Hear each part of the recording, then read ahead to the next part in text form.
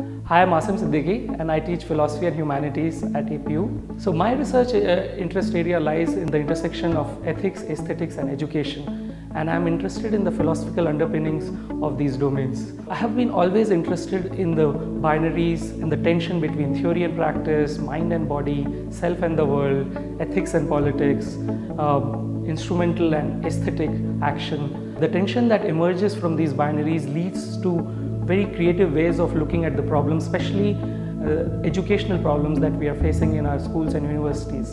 So for example, some of the students are interested in the educational thought of Phule and Ambedkar, some are interested in science education and others are interested in liberal education and modern universities. So their questions actually keep me alive in my own research and through my research I can kind of guide them in a more interesting fashion. In APU, we have a, a very diverse transdisciplinary faculty which teaches sciences, social sciences and humanities. And the kind of conversations that we have really bring up new ways of looking at the problems that we are facing. So for, uh, for example, uh, we have a history and philosophy of science club which uh, brings together faculty from sciences, humanities and social sciences.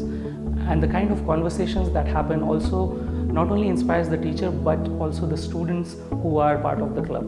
Apart from the academic uh, guidance and intellectual support that we provide students, we also focus a lot on the holistic care aspect for the students. As this is a residential campus, we need to not only support them intellectually but also emotionally, psychologically and socially. One gets to learn a lot while teaching these students because they are coming with such fresh perspectives and questions that challenge the current uh, form of knowledge that we have.